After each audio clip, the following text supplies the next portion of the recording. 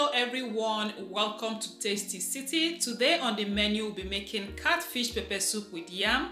So if you like to see how I made this, keep watching and don't forget to click the like button. So let's get started.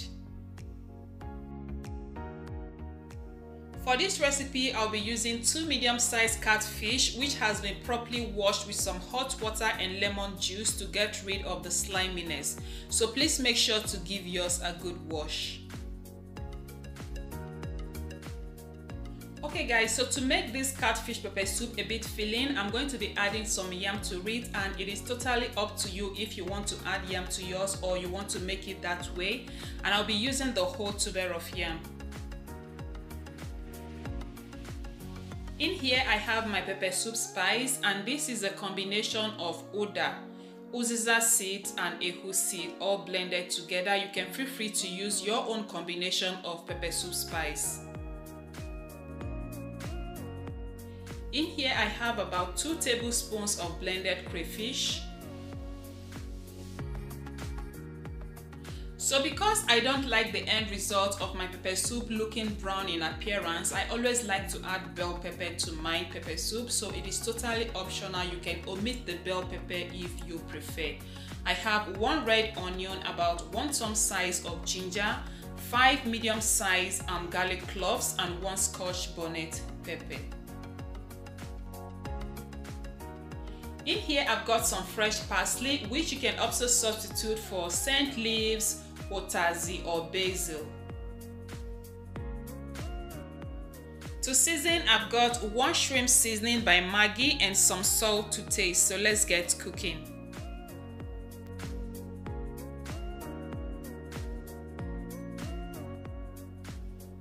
Guys, so the first step is to peel and cut the yam into small cubes and here with me I've got a bowl of water so I'm going to be cutting and um, just dropping the yams into this bowl of water.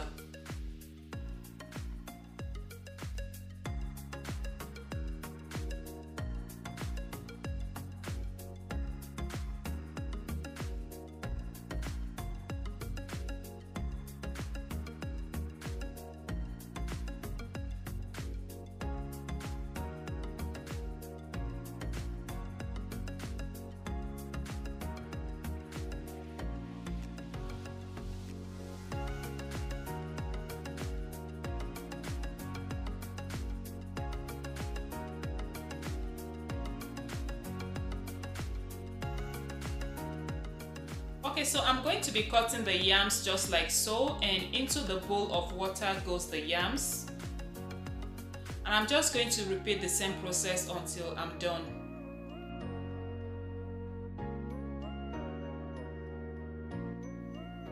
Alright guys, so I'm done with the peeling process and at this point I'll just go over to the sink, give them a good wash and I'll be right back.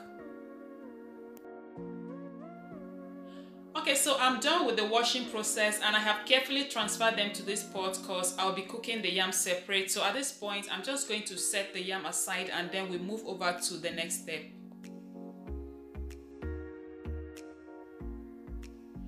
Okay guys, so moving over to the next step, at this point we are going to be blending the peppers, the onion, ginger and garlic and I always like to blend up my onion when making my pepper soup so it is totally up to you if you want to chop yours or blend it.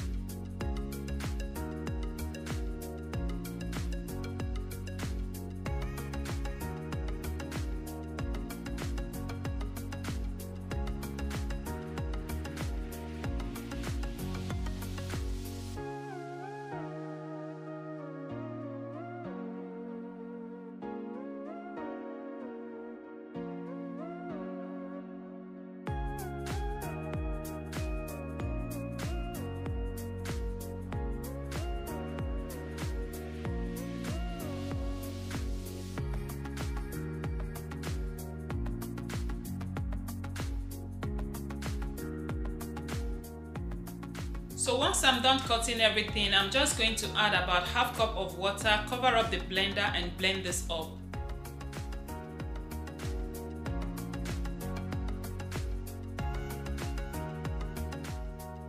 Alright guys, so like I told us earlier, I'll be cooking the yam separately and the reason is that I don't like all the excess starch from the yam releasing inside the pot of um, pepper soup because I don't like my pepper soup water to be um, thick but light. So at this point, I'm going to add in some salt and I'll cover and pre-cook or parboil this yam for about 5 to 6 minutes. And the 5 to 6 minute begins to count the moment the pot begins to boil.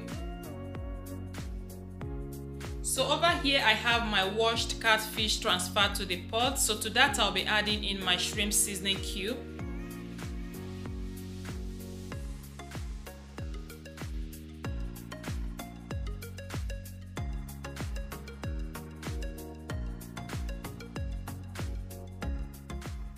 Next, I'll be adding the pepper soup spice, the blended crayfish, and some salt to taste.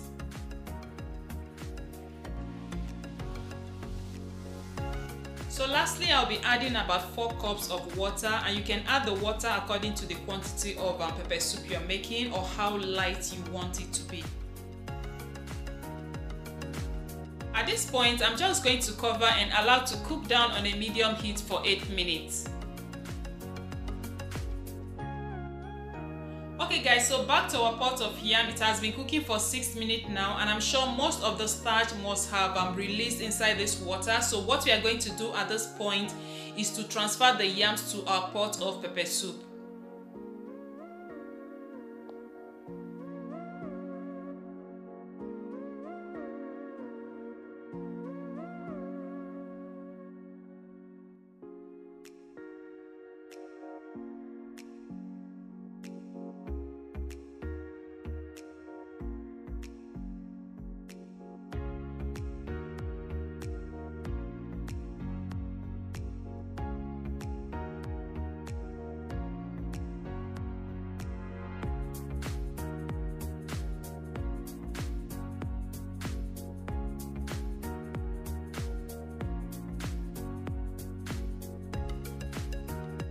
I'm done transferring all the yams to the pot of pepper soup. So at this point, I'm just going to pour in my pepper, onion, ginger and garlic blend. Then I'll add some water to rinse out the blender.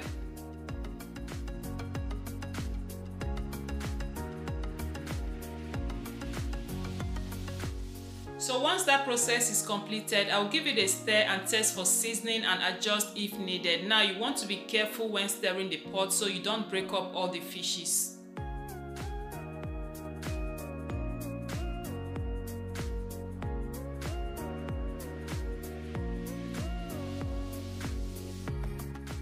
I'll adjust my seasoning by adding some salt to taste, then I'll cover and allow to cook down for additional 5 to 7 minutes.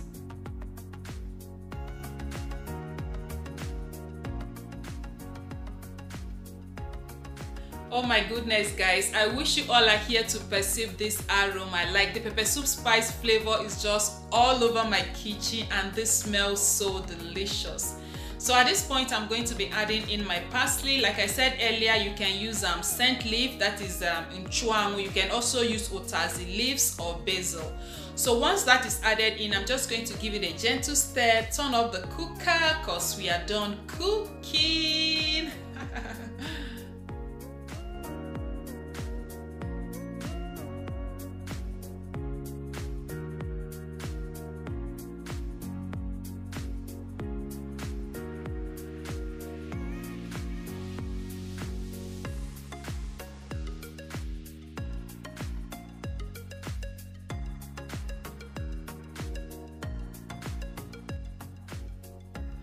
okay guys so here is the end result and if this is calling your name kindly let me know in the comment section because i will be sending yours right away Alright guys, so we've come to the end of today's video and I hope you all give this recipe a try cause it tasted so delicious. And if you're new to my channel, please consider subscribing by clicking on that red button there that says subscribe and when you are done, click on the bell sign. That's so you'll be notified whenever I upload a new video.